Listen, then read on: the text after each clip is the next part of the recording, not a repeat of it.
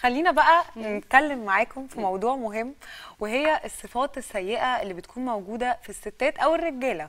يعني يا ترى إيه الصفات اللي لا يمكن توافقي عليها يا مها؟ امم مم. انت تفتكري ممكن تكون إيه؟ في الراجل أو في الست يعني مش عايزين نبقى يعني منحازين قوي لحاجة آه، معينة.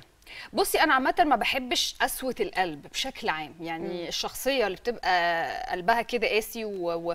وسهل تحرج اللي قدامها أو طب بصي هقول لك حاجة عشان الموضوع يكون ألذ. آه. قولي لي إيه الصفات اللي مش عاجباكي في الراجل وإيه الصفات اللي ما بتعجبكيش في الست؟ آه، الراجل آه، طبعا ما ينفعش يبقى بخيل. أيوة. بصي. يعني أوكي.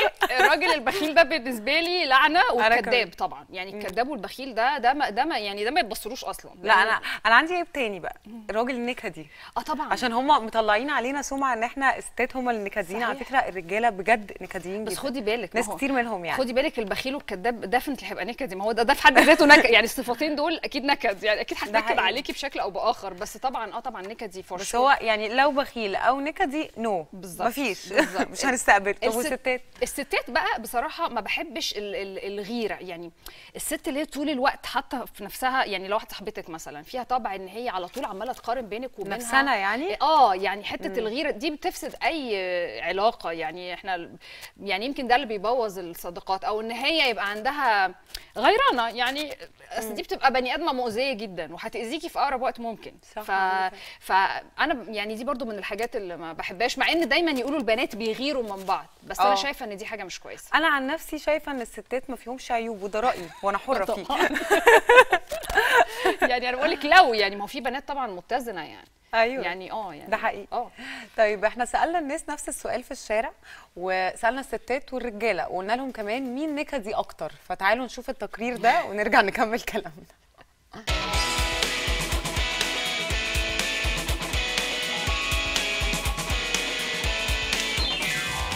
أكتر صفة بتكرهها في الست أو البنت؟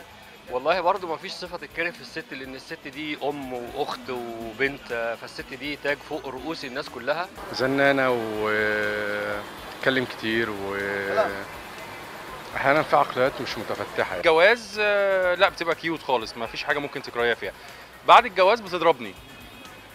الضرب مثلا الشك الكتير في حاجات كتير يعني من هذا القبيل هي حاجات كتير. أكتر حاجة الضرب يعني أنا بتضرب كتير بصراحة. اللي هو النكد الخناق وال- والعصبية و... وتزمت على الرأي يعني.